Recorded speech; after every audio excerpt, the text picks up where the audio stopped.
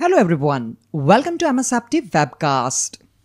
In this video, we're going to see the steps on how to enable one-time passcode based authentication for guest user in Azure Active Directory.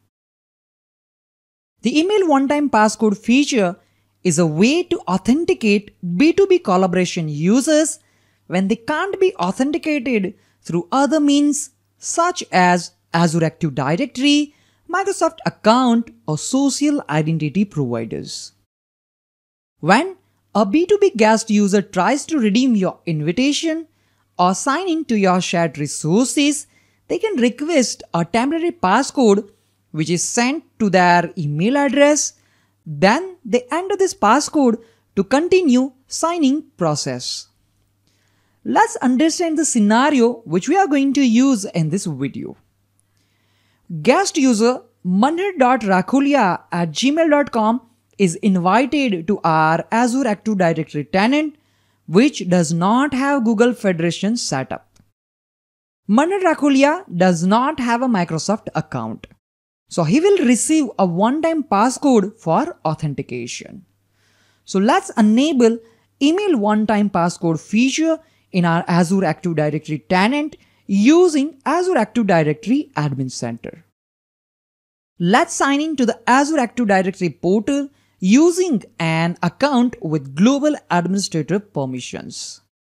You can access Azure Active Directory portal using the URL https colon double slash aad.portal.azure.com. On dashboard, click on Azure Active Directory. We are using the user account with global administrator role for this video and that we can verify here.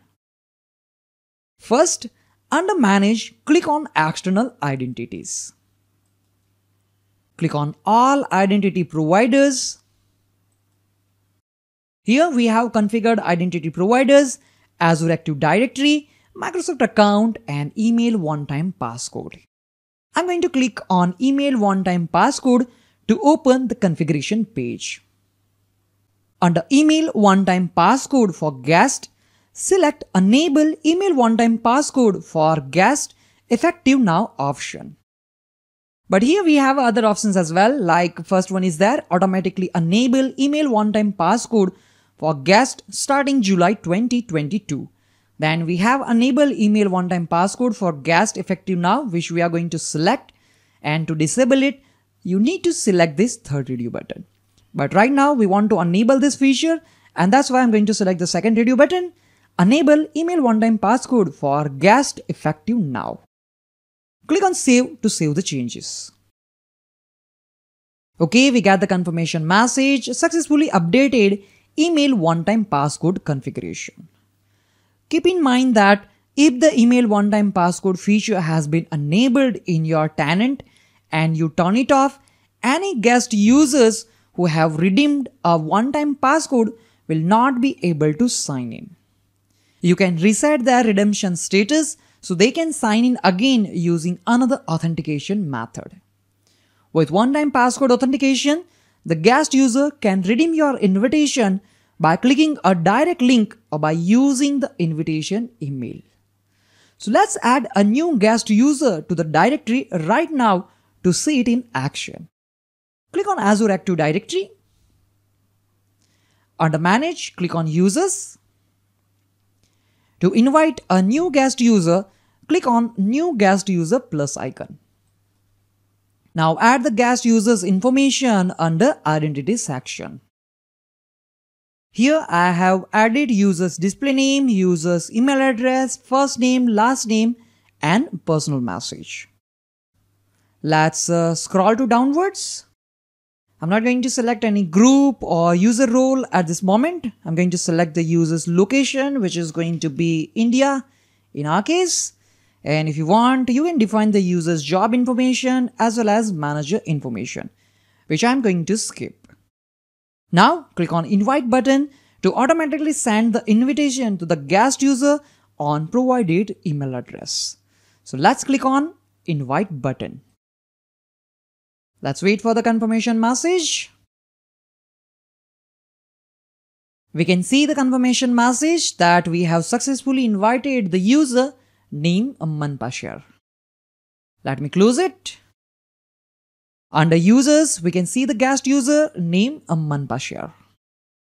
Confirm the user type guest and creation type is invitation.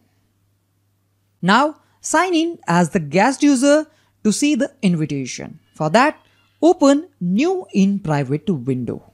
Let me click on these three dots and select new in private window. Let's sign in to our guest user's email account, which is on Gmail. So I'm going to click on Google. Let's click on Gmail. Okay, we can see the Microsoft invitation email, Microsoft invitation. MS Webcast invited you to access applications within the organization. Let's click on that mail. Here we can see the custom message which we have sent with the invitation. To accept this invitation, I'm going to click on accept invitation. You can see sign in. We will send a code to your email address to sign you in. Let's click on send code link to send codes on given email address. Okay, we just need to enter the code here. So the passcode is sent to the user's email address. Now retrieves the passcode from the email. Go back to the Gmail page. Let's go back and here we have a new email from MSFT Webcast for account verification code here we can see the account verification code which I'm going to copy. Okay, let's go back to the tab where we need to enter the code. Now let's enter the code here, paste as a plain text, okay, and click on assign in. Now the guest user is now authenticated and they will reach to my app's web page.